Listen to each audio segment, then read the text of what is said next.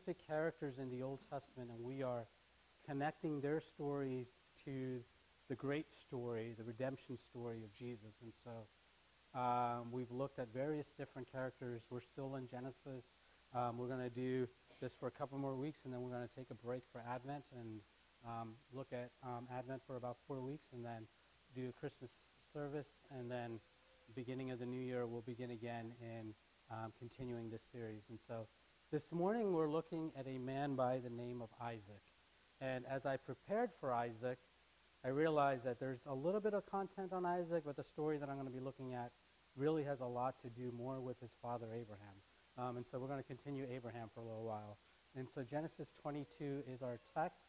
I want to read from verses 1 through verses 18. And so this is a test that God gives Abraham. And it says, After these things, God tested Abraham and said to him, Abraham, and he said, Here I am. He said, Take your son, your only son Isaac, whom you love, and go to the land of Moriah and offer him there as a burnt offering on one of the mountains of which I shall tell you. So Abraham rose early in the morning, saddled his donkey, took his two young men with him, and his son Isaac. And he cut the wood for the burnt offering, and arose and went to the place of which God had told him. On the third day of Abra- third day Abraham lifted up his eyes and saw the place from afar. Then Abraham said to his young men, Stay here with the donkey, I and the boy will go over there and worship and come back again to you. And Abraham took the wood of the burnt offering and laid it on Isaac his son. And he took in his hand the fire and the knife. And so they went both of them together. And Isaac said to his father Abraham, My father. And he said, Here I am, son. He said, Behold, the fire and the wood, but where is the lamb for a burnt offering? And Abraham said, God will provide for himself the lamb for the burnt offering, my son. And they went both of them together. When they came to the place which God had told him, Abraham built the altar there and laid the wood in order, and he bound his son Isaac and laid him on the altar on top of the wood. Then Abraham reached out his hand and took the knife to slaughter his son. But the angel of the Lord called to him from heaven and said, Abraham, Abraham. And he said, Here I am.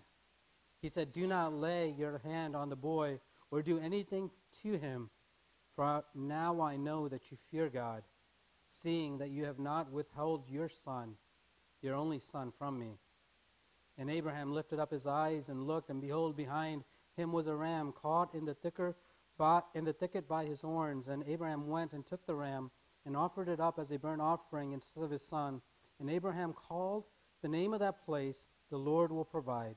As it is said to this day, On the mount of the Lord it shall be provided.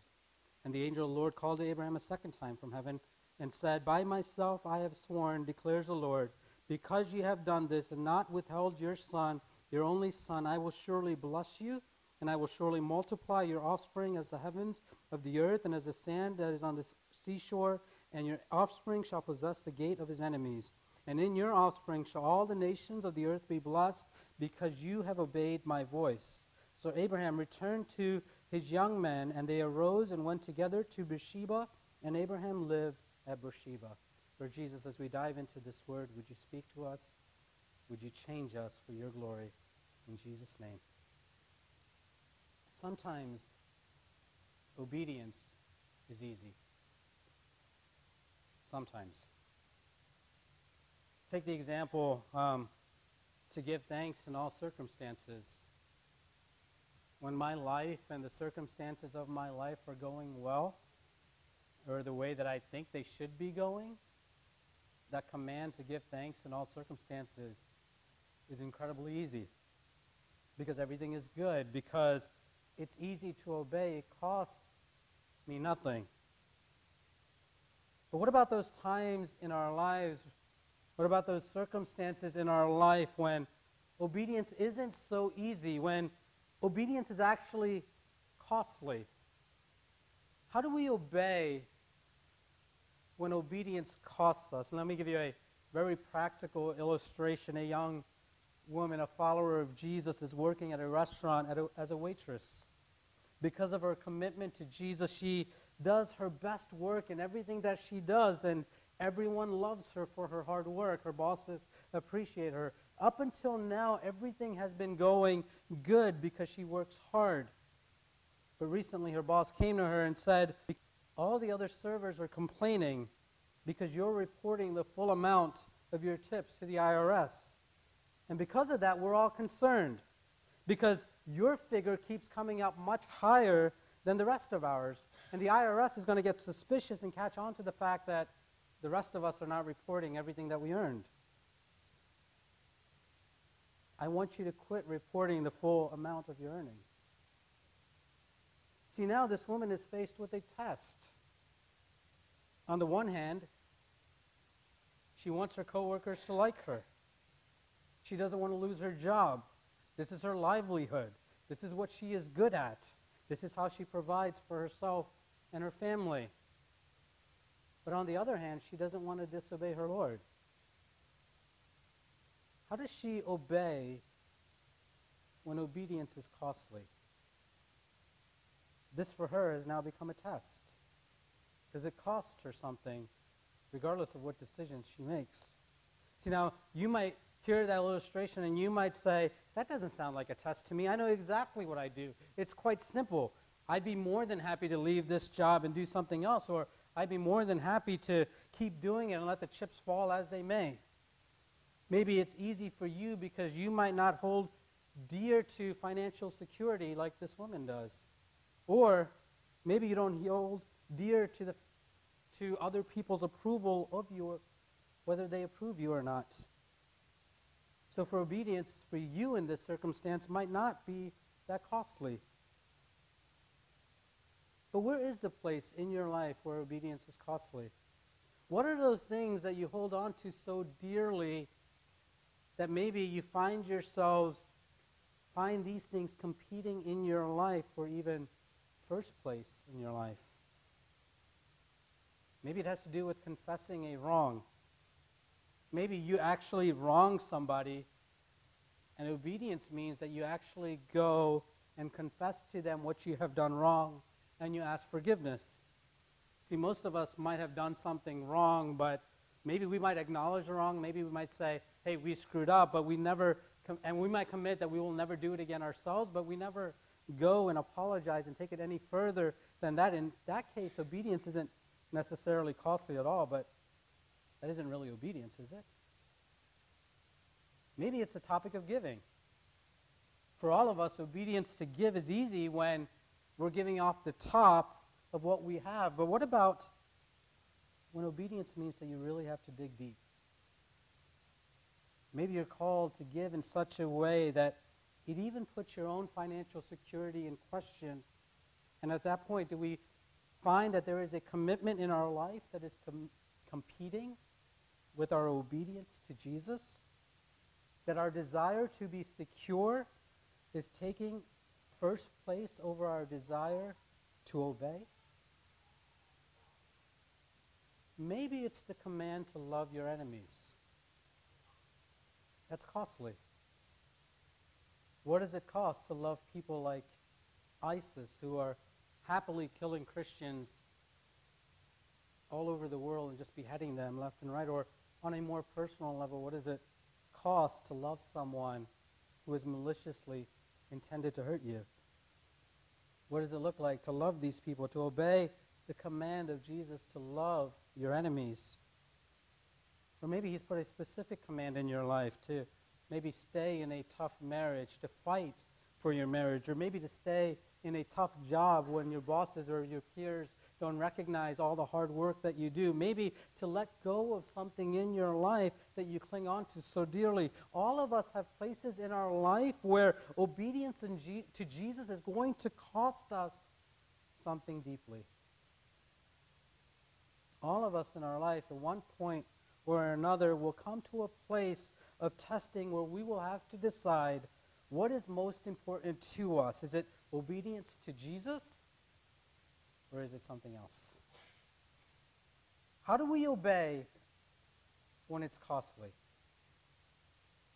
Abraham gives us a model in our passage. Genesis 22, verse 1 tells us that Abraham in this story is being tested by God. the test of Abraham's commitment comes down to whether or not the most important person in his life is God himself or is it his son Isaac?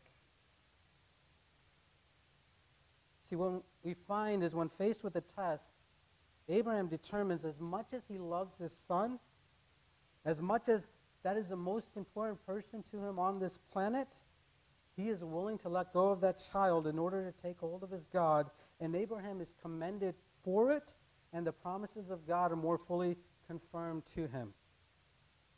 Where are you this morning? Where are you personally wrestling with the cost of obedience to Jesus? Maybe you're in a true test like Abraham was. You're at a crossroads in your life of deciding is Jesus going to be first in my life or is it going to be something else or someone else? Or maybe you're not at that kind of intense situation, but it's just simple obedience. Will I obey what Jesus says? It is simply following his commands that you are wrestling with. Or maybe you're not wrestling at all and you should be. Where are you right now? I want you to take a moment and think about that thing or that situation or that person that God is bringing to your mind right now. And I want you to hear the instructions that are in this passage that, that this passage gives us of how to obey when obedience is hard. And we're going to answer three questions this morning that we find from this text. Number one, how do we obey when we know what to do? How do we obey when we know what to do? Number two, how do we obey when we know what to do, but we don't know how to do it? And number three, how do we obey when we just don't want to do it? See, that last one is the real kicker for most of us. We know what Jesus tells us to do, we just don't want to do it.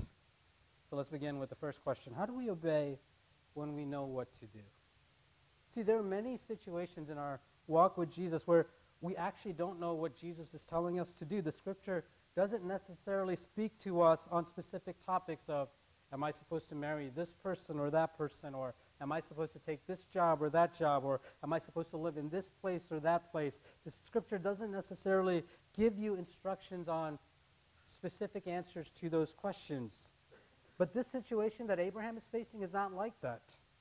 The situation that you're facing maybe isn't like that either.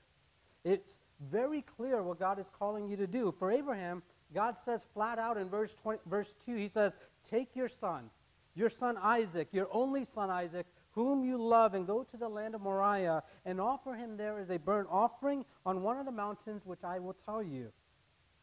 That's the command. It is very clear. now, there's some strange and there's some serious theological and moral difficulties that need to be contended in this passage that we'll deal with in a second. But before we get there, notice what Abraham does. God gives him a command go to this land, take your son Isaac, and offer him as a burnt offering. Notice what Abraham does. He obeys quickly. He obeys quickly. When you know what you're supposed to do, the answer to the question, what are you supposed to do? You obey quickly. Verse 3 says Abraham rose early in the morning, saddled his donkey, took two of his young men with him, and his son Isaac. Abraham rose quickly. This is not an insignificant detail that Moses records for us that he writes Moses, Abraham rose early. He knew that what God had asked him to do, and he immediately set into motion his act of obedience to God's command. He didn't wait. See, this is what the heart of obedience really is to do it quickly. Thomas à Kempis was a follower of Jesus who lived in the 14th century, and he wrote a book called The Imitation of Christ. He is quoted to have said that instant obedience is the only kind of obedience there is. Delayed obedience is actually disobedience. I don't know about you, but if you're a parent, this is what you try to impress on your children, isn't it? When we say come here, it means come here now. It doesn't mean come here five minutes later. It doesn't mean come here whenever you're done what you're doing. It means when we say come here, it means come here right now, unless we say come here in five minutes or come here whenever you're finished doing whatever you're doing. We want our kids to learn that it is good and safe for them to respond to us immediately when we ask them to do something. So it's important that we press upon our kids that obedience means doing what we ask without arguing, without complaining, without delaying. Abraham provides us the model for that. When we need to show our kids what this looks like so that they can also respond to God like Abraham did, without arguing, without complaining, without questioning, without delaying.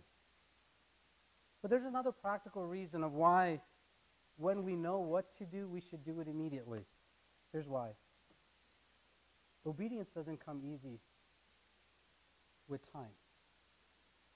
When we know what to do, especially when it's going to be costly, the decision doesn't get easier with time. What happens is when we tend to delay the process, oftentimes we end up not doing it at all. Listen, every one of us comes out of the womb with a PhD in rationalization and self justification. Given enough time, we can all argue our way or talk ourselves out of something or into something. We can do it. All of us can do it. When we know what to do, we ought to do it quickly. On a practical level, how many times has the Holy Spirit impressed on you to do something. Maybe it's to give, or maybe it's to call someone and check on how they're doing, or maybe it's to invite someone for lunch after church, or maybe it's to take someone out for dinner. And you know the Holy Spirit is impressing on you because those thoughts just come out of nowhere and that's there, but you delay it and delay it. And what happens over time? You completely forget about it. You don't do it. Delayed obedience is disobedience. See, when obedience is costly, it doesn't help for us to dwell upon the cost of that thing for some period of time. Instead, like Abraham, we should do it and do it immediately. So, right where you are this morning, right in the place where you're sitting, I want you to think about that situation or that person or um, that thing that God is impressing on your mind. And I want you to resolve in your heart right now that as soon as you are able, early in the morning, first thing. As soon as you walk out of this place, you are going to obey God and do what He has asked you to do. You're going to do it. See, this is what it means to call Jesus your Lord. What it means to say that Jesus is your Lord means that He asks you to do something, you do it. You're obedient to it. You don't question it, you don't wrestle with it, you don't rationalize it. When He tells you to do it, you obey. You know, Jesus himself tells us that he has little patience with people that call him Lord, Lord, and then doesn't do what he tells them to do. He says to those people who calls him Lord, Lord, and then doesn't do his commands and his rules, he actually tells them, Depart from me, because I never knew you. When you know what you're supposed to do, Scripture teaches us you do it and you do it immediately. Second question how do we obey when we know what to do, but we don't know how to actually do it? What provision is there for us when we don't know how to obey or do the thing that God has called us to do? This is not an unusual circumstance. The short answer is that when you don't know what God has called you, when you don't know how to do what God has called you to do, in those situations, you need to trust God fully. You need to trust Him fully. I'm going to ask you a question. I'm going to ask you to actually answer. Maybe raise your hands. How many of you have ever heard a testimony, or maybe it might be your own testimony, that goes something like this? That you said, Man, we felt God impressing on us to do this thing, or get engaged in this ministry, or go on this mission trip, or take this act of faith and looking at our own resources, we didn't have the resources to do that. But we felt so strongly that we were supposed to do it that we went ahead and did it. And to our amazement, God provided exactly what we needed when we needed it. Have you ever heard that testimony? Can you raise your hand? If that's your life, can you raise your hand? Look around the room. Look at how many hands are raised. You know what that means? It's not unusual for God to do this. When God asks you to do something, and he's, you don't have the resources to do it, but he is impressing on your heart to do it, if he's asking you to do it, you can trust that he will provide for you. How many of those guys that just a couple weeks ago shared of their mission trip experiences? They wrestled with God, will I be able to provide the finances for this? And lo, to their own amazement, people began to give toward them. How many times in your own life God impressed on you to do something and you did it, and to your amazement, God took care of whatever thing you were worried about? He is absolutely faithful. If He is impressing on your heart to do something and you don't have the resources or don't know how to do it, trust Him that He will provide for you. If you find yourself in a position where God is calling you to do something that you don't know how you will do what you're supposed to do, let me encourage you. You're in the majority. You're not in the minority there because that's how God leads us. This is the normal Christian life. You see, when God calls us and asks us to do something and we don't know how we will do it, this is an opportunity, not for this is not an opportunity for us to disobey. This is not an opportunity for us to say, God, I don't have the resources, I'm not going to do it. This is an opportunity for us to trust God. This is an opportunity for us to say, God, I don't know how I'm going to do this. I don't know when this is going to happen, but you are impressing this on my heart, and I am going to trust if you are the one telling me to do this, you're going to take care of me. You're going to provide for me. You will meet whatever need there is in this circumstance. This is an opportunity for us to see the provision of God working. Imagine the difficulty that Abraham has put in here. Compare your situation to us. This is not an unusual command that God has given Abraham. In verse 2, God says to Abraham, Take your son that you love and turn him into a burnt offering. You might let that word slip by you, that word burnt offering. But I assure you, when Abraham heard those words, it didn't slip by him. He heard exactly what God told him to do. See, we don't have a visual image of what a burnt offering looks like. But Leviticus 1 tells us what happens in a burnt offering. Here's what happens. In a burnt offering, the worshiper brings an animal, usually a lamb or a bull, to the place of sacrifice. And the worshiper is supposed to lay his head on the head, lay his hand on the head of the sacrifice, signifying that this animal has become his substitute. I am bringing this animal as my substitute. The laying on of hands signifies the transference of guilt, that this animal is going to die for my sins. And then the worshiper is supposed to take this animal and slay it in a way that most of us would not even consider humane. And then after that, he is to take the blood and sprinkle it all around, indicating that the wages of sin has been fully play, paid. Blood has been shed. And then he's supposed to take the carcass of that animal and cut it into pieces and arrange it in a specific way upon the altar. And then he is supposed to burn the whole thing completely, making atonement for God, to God. This is what a burnt offering is. It's hard imagining even doing that to an animal.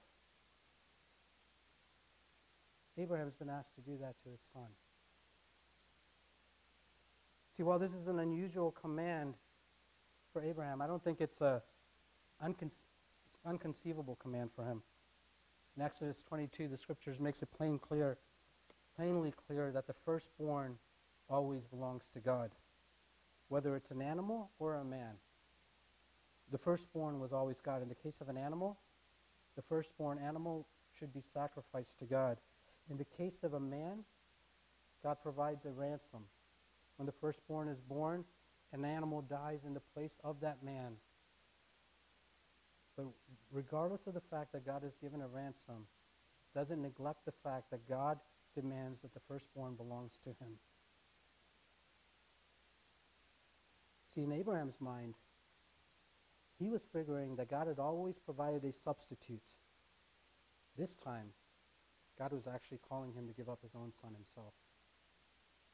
And notice God doesn't say to Abraham, I want you to go into Isaac's tent and I want you to murder him. He doesn't say that at all. He says, I want you to bring him up as a burnt offering. I want you to bring me what you owe. Unusual, yes. Unconceivable, I don't think so. Difficult, incredibly so. This is his son. It's his only son. We know that he had Ishmael, but in the previous chapter in Genesis 21, God commands Abraham to send Ishmael and Hagar off. And now Isaac is left. Isaac is his only son. This is the hope for Abraham and his family on carrying on the legacy of his family.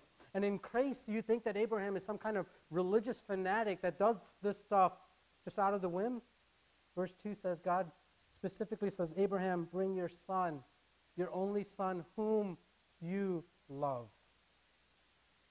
Abraham loved this kid. He loved him.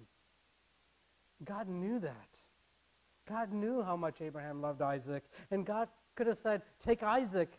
Abraham knows who Isaac is. God goes further and says, God, take Isaac, the son whom you love. See, God knew the cost of what he was asking Abraham to do. And Abraham knows the cost. Not only is the hope of his family found in Isaac, but the promise of salvation is found through the descendants of Isaac.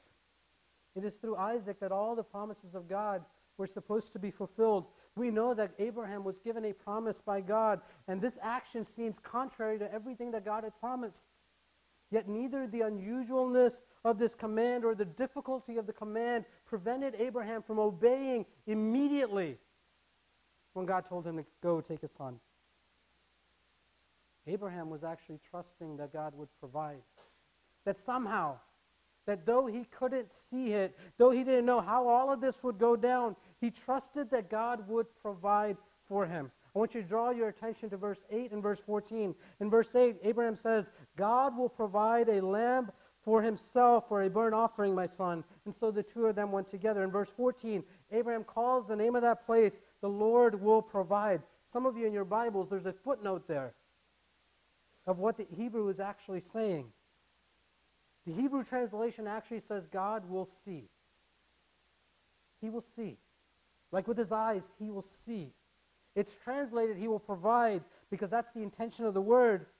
But all week I've been thinking about what this word means the connection between God seeing and God providing. What is this connection that Abraham could see that could cause him to say this about God? Here's what I think it is. Our God is a God not, that not only sees us, but when he sees us, he provides. When God sees that there is a need, it is as good as saying that when he sees it, he will provide. His seeing a need and his provision for that need are so closely connected that we can exchange the one for the other. For God to see is for God to provide. Think about Genesis 3. Go back all the way to the story of Adam and Eve. Adam and Eve sinned. They're now naked, standing, hiding from God, and God sees them in their nakedness. What does God do? He provides clothing for them. God sees their needs and provides. Abraham had such a rock solid trust in his God as provider that he knew that God would see the need, and as surely as he saw it, he would provide for him. See, Abraham was thinking that uh, God would raise Isaac from the dead. He fully expected in his mind to kill Isaac on the altar. He didn't go there thinking that he wasn't going to sacrifice Isaac. We read in verse 5 Abraham said to the young men, He said, Stay here with the donkey. The boy and I will go there and worship and then come back to you. It's not as clear in the English, but in the Hebrew it's very clear. It says, We will go over there, we will worship, and we will come back. Abraham trusted that these in between these two events of going there and worship and coming back, in between those two events, he would actually have to kill his son. Hebrews 11 gives us an insight into what Abraham was thinking. In verse 17 through 19, he said, He considered that God was able to raise him from the dead. That's what Abraham believed. Abraham trusts that God would see the need, and even if it means raising his son from the dead, that wasn't too much for God, that God could do that. Can you imagine what kind of radical life you would live if you truly, truly believed that every time you had a need, He would see it and He would provide for it. That every time He impressed on you to do something that was going to stretch you, that you could obey, trusting that if He's called you to do it, He would take care of you. He would provide for you. Listen, this is not a prosperity teaching of you give and then God will bless you back. That's not what we're saying here. We're not saying just try to give and so try to manipulate and try to get something back. We're saying when you are obedient to God, when God impresses something on your heart, you can trust Him. That if He is the one impressing that on you, He'll take care of you. Know, this is what the Christian life is supposed to look like. This is supposed to be our everyday life. Scripture says it as followers of Jesus, we trust and we obey. There's a passage of Scripture that says we walk by, what is it? We walk by faith. It doesn't say we walk by sight, does it? It doesn't say we see the provision and then we move forward. It doesn't say that. It says when God impresses us on something, we walk by faith, fully trusting that this God we serve sees us and is able to provide for us. How do we obey when we know what to do? How do we obey when we know what to do, but we don't know how to do it? But how do we obey when we just don't want to obey? How do we obey when we just don't want to? God, I know what you say, but I just don't want to do it. I was actually talking to someone just a few weeks ago on the phone that was referred to me for counseling, and he's not in this room, and it's not one of you guys, but um, Christian guy, loves Jesus, but he's dating a girl from a different back, faith background. And he decided that he and his girlfriend were going to move in together, and they were going to live as husband and wife and everything that entails. And when he told me this, I asked him the question, said, Do you really think because the Bible is clear on sex outside of, outside of marriage and that it is wrong and there is no question about it. I asked him, Do you really feel that what you're doing here is in obedience to Jesus? Do you feel that what you are doing is what Jesus is asking you to do? And he said, No. I know that this is not what I'm supposed to do, but I don't know just what I'm supposed to do, so I'm praying about it. I'm like, okay, I don't know exactly what you're praying about there, but um, it's pretty simple. You know that you walked away from God in disobedience.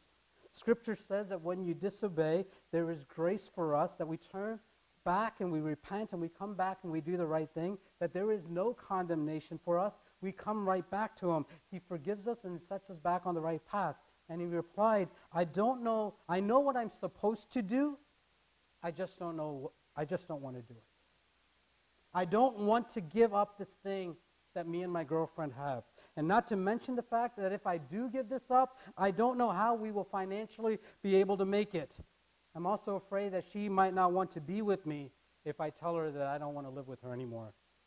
See, obedience for him at this point has become something incredibly costly. See, when we step back, we can see that he's put his relationship with this woman in the place of God. He put that over obedience to Jesus.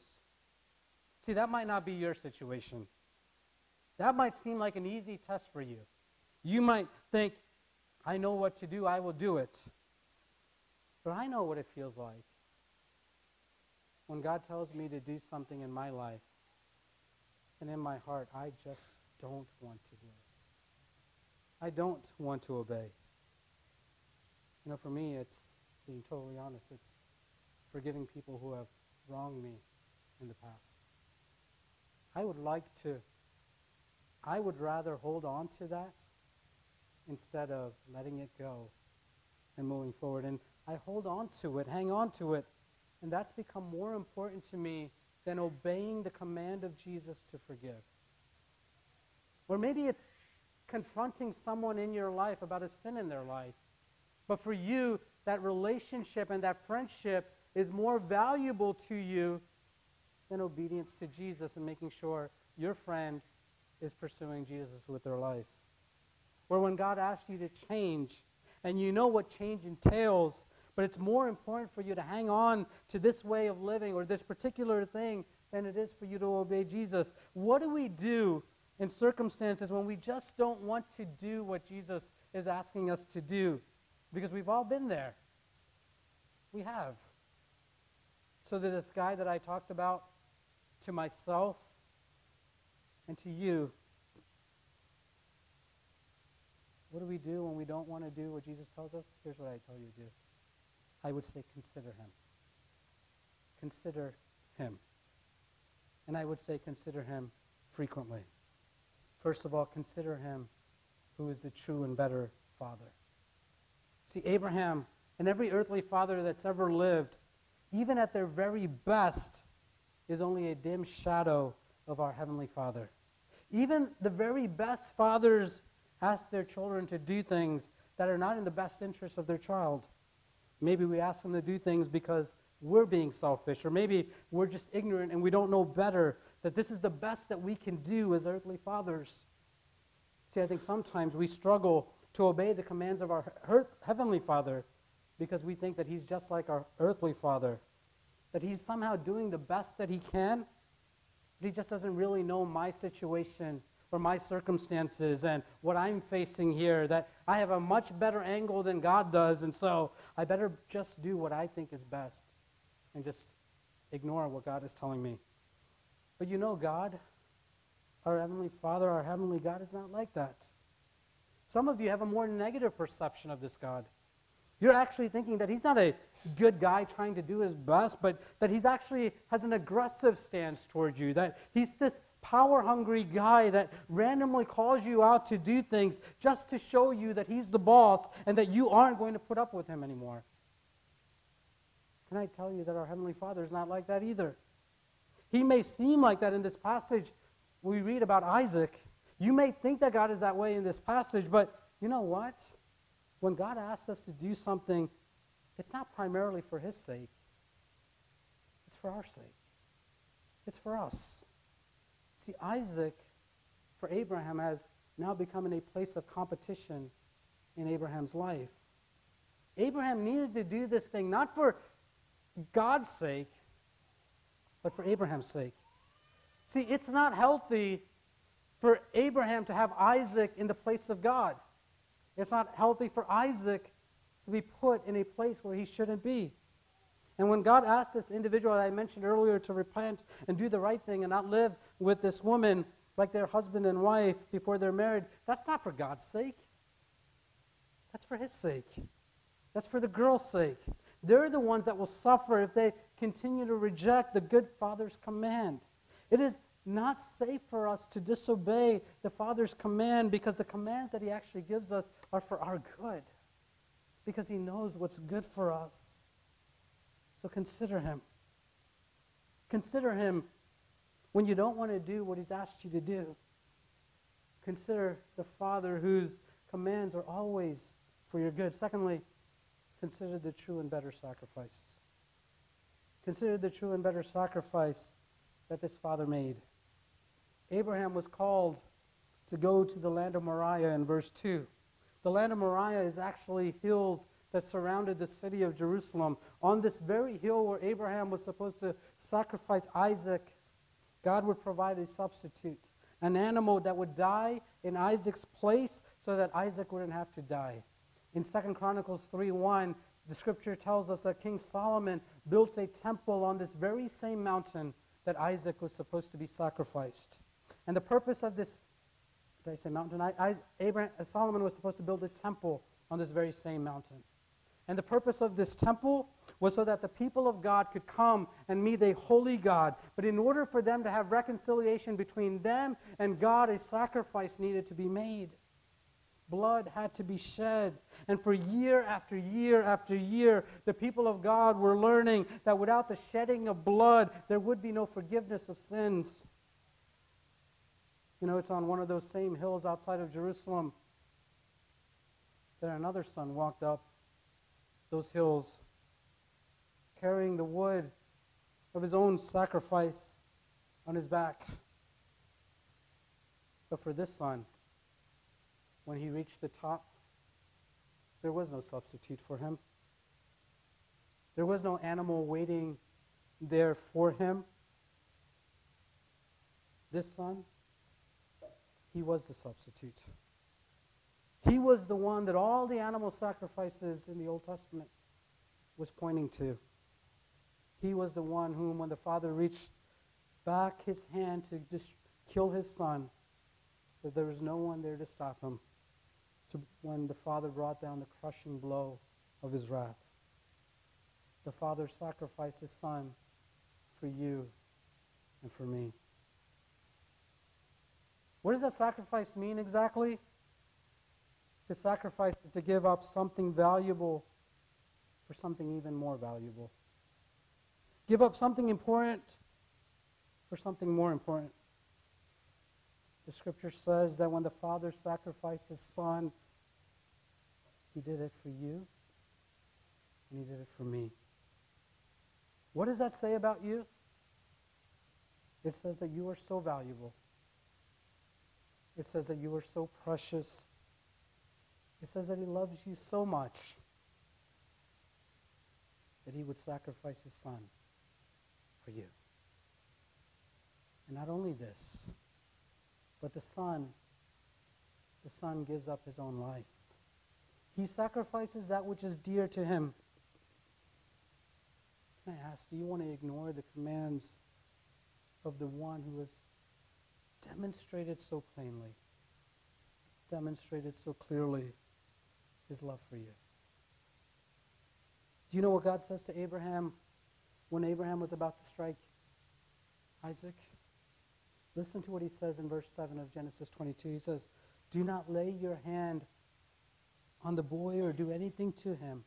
For now I know that you fear God. The Hebrew concept for that word fear is much bigger than our English word can ever communicate. It suggests a heartfelt devotion, honor. The best word that we can come up with is the word love. Now I know that you love me, seeing that you have not withheld your son, your only son, from me. Don't you see? On this side of Calvary, for those of us who have experienced the grace of God, we can look at Calvary and we could say, God, now I know you love us. Now I know you love us. Now I know that we are precious to you. Now I know that I can trust you why? Because you did not withhold your son. You did not withhold your only son for us. Don't you see? When you are struggling to obey, when you don't want to obey, consider the better sacrifice that was made for you. Finally, consider him who is the true and better son. Consider the true and better Isaac. Isaac, he walked willingly for the sacrifice. Now, he walked willingly because he had no idea what was about to happen. He says, I see the fire, I see the knife, but where's the lamb? It seems to me that when Isaac did find out that he was going to be the sacrifice, that Abraham actually had to bind him to the altar. And I can't blame Isaac for that. But you know, when Jesus was walking up that hill, carrying the wood on his back, he knew exactly what it was going to cost him. And even though nails pinned him up to the cross, there was no reason in hell that he would ever leave that cross until he fully paid the price of your salvation. Never would he stop no matter how deep the temptation, no matter how much they mocked him, he refused to come down until the debt was paid. Isaac was figuratively raised back from the dead. Jesus spent three days dead for our salvation, but he is now raised back to life, and now he lives and he reigns forever. Can you imagine how much this God is for you? How much he cares for you? Can you imagine how much for your good he loves you? And why can't you obey him? Would we want to ignore the commands of one like this? See, if we truly consider what he paid, what he did, I wouldn't think so. I want you to consider one more thing in this passage and I'll close. Abraham wasn't a young man when he was making the sacrifice. He was well past 100 years old. Some of you think, a couple of things. Some of you think that the temptations that you face now, the testing that you face now will go away as you get older. No. Some of you, on the flip side, think that because you're older, that God isn't going to stretch you. And I suggest to you that just because you are older, the call to radical faith and obedience to Jesus will never be done. Listen to God's call for your life. Listen to those places in your life where He is calling you to obey. I don't know about you, when I hear the needs of the world and even the needs of our own community and how overwhelming that can be, I can't help but think that maybe that God has helped and prepared and resourced some of you to make a radical lifestyle change, to make a radical commitment, to make a radical mission because your heart is so captivated with love for Jesus and what he has done for you. When your hearts are touched by his love, no longer do we find ourselves saying, Oh God, I can't live without this. I can't live without him, or I can't live without her. I can't do what you're asking me to do. But instead, when our hearts are moved by the love of Jesus, we can say, Oh Father, I thought I could never do this. I thought I would never be able to live without this. I thought I would never be able to live without that. But God, I see that you love me. I see that you are calling me. I see that your eyes are on me. I offer up all that I have.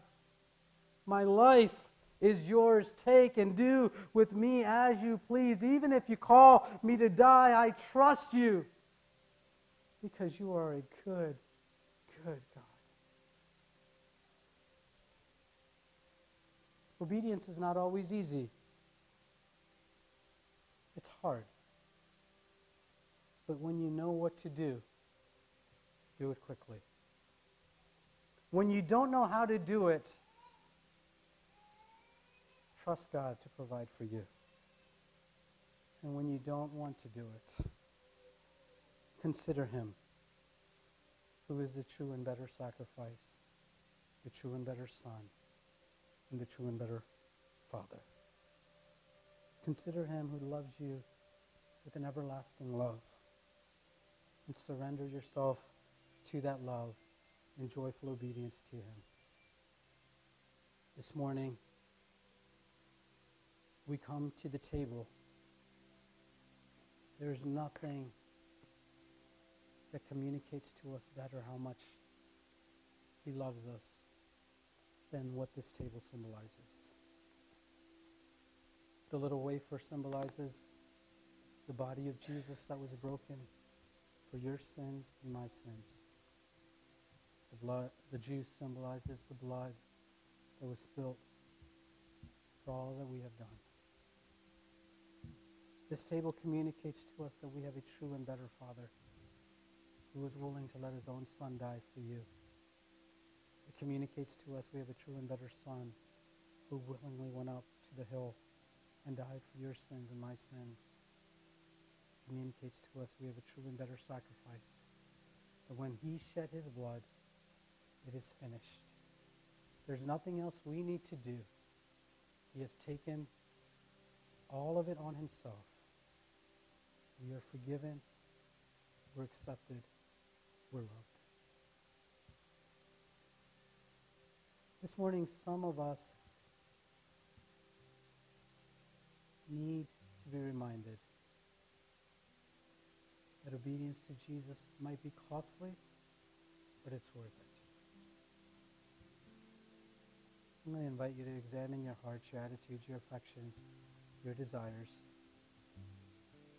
I'm going to invite you to just spend some time with Jesus.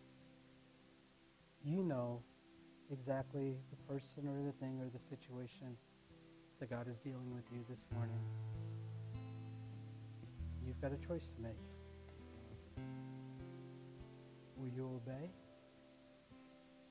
Will Jesus be first in your life? Will Jesus be everything to you? Or Or are you going to say that this person or situation or thing is going to compete with Jesus?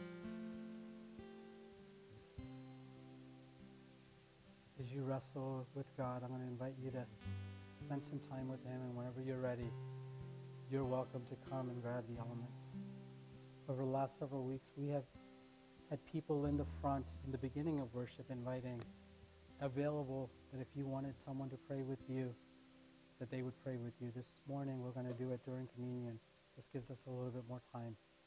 There's going to be someone on the left and someone on the right. If you just want someone to pray with you and encourage you and just speak God's words into your life, when you're grabbing the elements, stop with them. Just have them pray over you, and then you may be seated. So I'm going to invite the guys who are going to be playing up forward, and then the rest of you guys, whenever you're ready, you're welcome to come, grab the elements, and then whenever you're done, go back to your seats and we'll partake of the table.